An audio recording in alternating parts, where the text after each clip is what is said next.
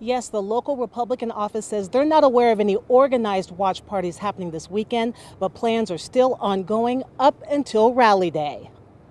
Governor Stitt has been so welcoming and offered the invitation, and we can't wait to see Tulsa. National spokesperson Liz Harrington says the Republican National Committee working closely with Governor Kevin Stitt's office, preparing for Donald Trump's visit to Oklahoma. We surpassed over a million ticket requests um, within just a couple of days. We reached out to several local charter businesses who say they haven't booked any large group travel to Tulsa for the rally. But I spoke to several people who say they will be traveling in groups in their personal vehicles.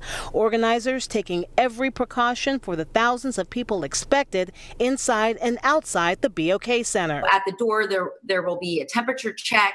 There will be uh, face masks for, available for any rally goer, uh, and there will also uh, be hand sanitizer provided. We're going to have to have some outdoor space as well, and I think the campaign is facilitating all that. Trina Adger, KOCO 5 News.